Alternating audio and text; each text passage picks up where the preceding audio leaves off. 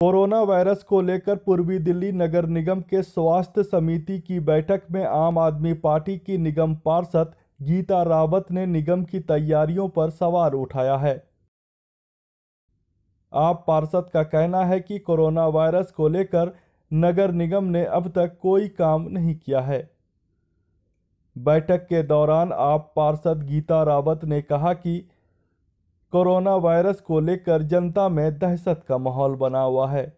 अब तक 28 मामले सामने आ चुके हैं।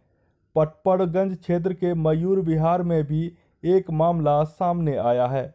इसके बावजूद पूर्वी दिल्ली नगर निगम के अधिकारियों ने जनता को इसके प्रति जागरूक करने के लिए कोई भी ऐसा काम नहीं किया, जिससे जनता में भय की स्थिति बनी हुई है।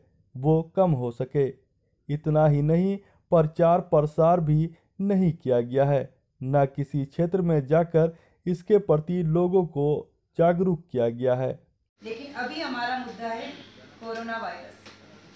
जिसकी दहशत मुझे लगता है पूरी दिल्ली में फैल चुकी है, क्योंकि अभी हाल ही में जो 28 मामलों की पुष्टि हुई है और वो भी भारत सरकार के स्वास्थ्य मंत्री डॉक्टर सी हर्षवर्धन जी ने करी है। अट्ठाईस? अट्ठाईस हाँ अट्ठाईस और उसमें से एक केस हमारे पटपड़गंज फ़ेज़ टू का भी जो कल परसों का ही केस है और डब्ल्यू एच ओ की टीम आई थी ढाई सौ डॉक्टर की और वहाँ पे पूरे पॉकेट ई में किसी के फ्लैट को सील करके गई है।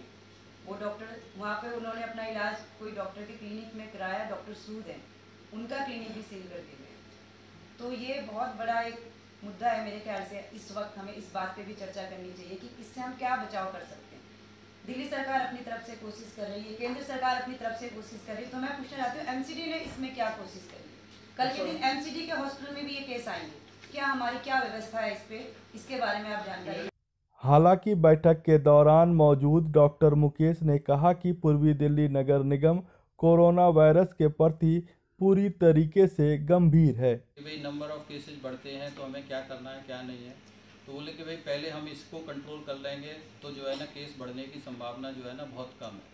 पर फिर भी ये है कि आप जो है ना हॉस्पिटल स्टाफ को डॉक्टर्स को नर्सिंग स्टाफ को टेक्निकल स्टाफ को, सभी को बीमारी के लक्षण और मरीजों को भी कि भाई, बीमारी के क्या लक्षण हो सकते हैं और उस बीमारी से बचने की क्या एहतियात रखनी है, वो सारे लक्षणों के बारे में, एहतियात के बारे में जो एडवाइजरी दी थी वो हम लोगों ने सभी को जो है ना जागरूकता के हिसाब से सभी हेल्थ यूनिट हॉस्पिटल्स को जो है ना गाइडलाइंस